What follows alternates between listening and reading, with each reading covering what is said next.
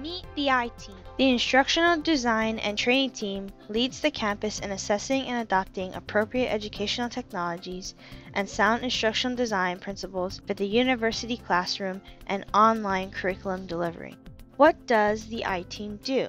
The I-Team partners with faculty to identify, pilot, assess, and implement emerging technologies to enhance teaching.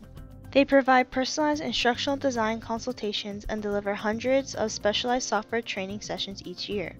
They also promote awareness of relevant technologies and bridge the gap between learning technologies and learning outcomes. The I-Team will customize individual and team training sessions for your group or department of 8 or more on Adobe, Microsoft Office, iClicker, Turnitin, Blackboard, and more.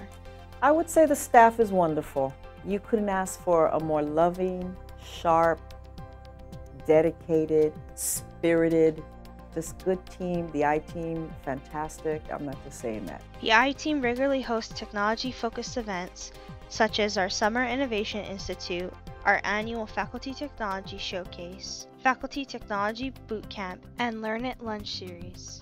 Register at san sandiego.edu slash tutorials. Visit the I-Team in Maher 194 on weekdays between 9 a.m. and 4 p.m. and follow us online to learn more.